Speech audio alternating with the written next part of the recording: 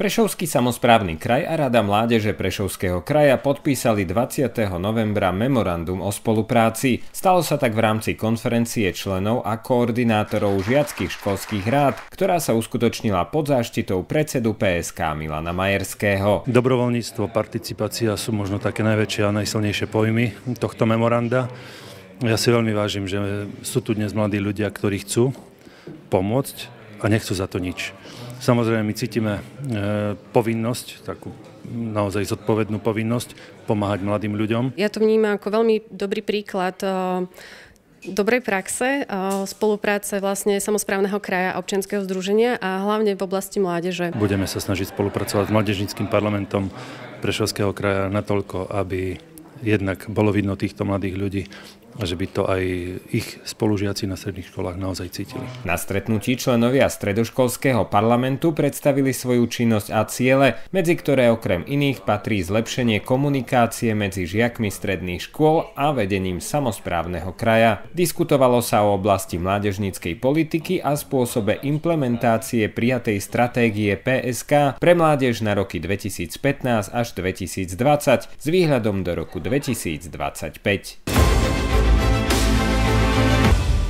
15. ročník súťaže Samospráv Slovenska Zlatý erb 2018 bol pre PSK mimoriadne úspešný. Z aktuálneho ročníka si prevzal prvú cenu za najlepšie webové sídlo samozprávneho kraja a pridal tak v poradí už 9. víťazstvo v tejto súťaži. Veľkým úspechom bolo aj získanie prestížnej hlavnej ceny Grand Prix S Slovensko, ktorou sa vďaka najvyššiemu hodnoteniu Prešovský samozprávny kraj nominoval na medzinárodnú súťaž Eurocrest Award. Porota hodnotila 66 kritérií v 12 kategóriách a do súťaže sa zapojilo 81 samozpráv.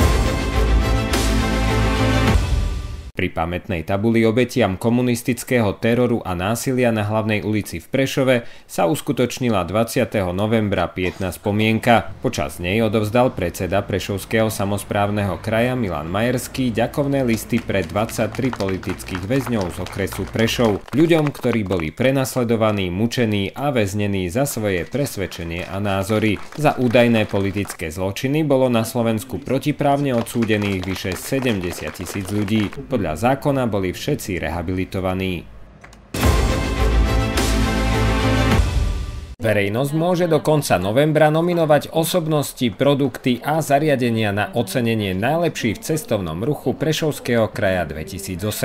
A to v štyroch hlavných kategóriách. Osobnosť cestovného ruchu, najprodukt, najzariadenie a najzamestnanec cestovného ruchu. Práve takýchto skúsených, kvalitných ľudí, ale aj dobré zariadenia a produkty cestovného ruchu chceme prostredníctvom ocenenia predstaviť širokej verejnosti, ale aj ich kolegom, pre ktorých môžu byť zdrojom inšpirácií. Ocenenie najlepší v cestovnom ruchu Prešovského kraja organizuje Krajská organizácia cestovného ruchu Severovýchod Slovenska už od roku 2014. Verejnosť rozhodne aj o najobľúbenejšom produkte cestovného ruchu. Online hlasovanie sa uskutoční od 14. decembra 2018 do 13. januára 2019.